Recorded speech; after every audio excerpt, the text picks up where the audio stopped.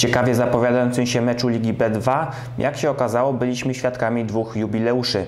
Najpierw zapowiadało się na udany ju- jubileusz kapitana Zabankuj.pl yy, Jakuba Zasady, który w pierwszej minucie otworzył wynik meczu, a rozgrywał w starciu z FC po 40 swój setny FLS-owy mecz.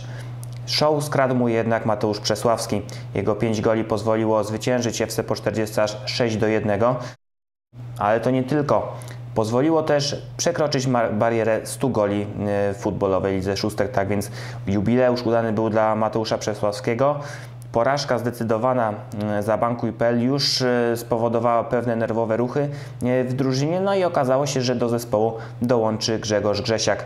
W ostatnim sezonie zawodnik ten występował w GDA Investment, a więc ligowym rywalu za Bankuj.pl, a smaczku dodaje fakt, że Kapitanem Zabankuj, y, kapitanem GDA jest znakomity, myślę, dobry kolega y, Jakuba Zasady, Grzegorz Gęgotek, a więc mecz Zabankuj.pl z GDA Investment y, zapowiadał się już przed sezonem ciekawie, natomiast po transferze Grzesiaka będzie dodatkowy podtekst tego starcia, a więc na pewno będzie ciekawie.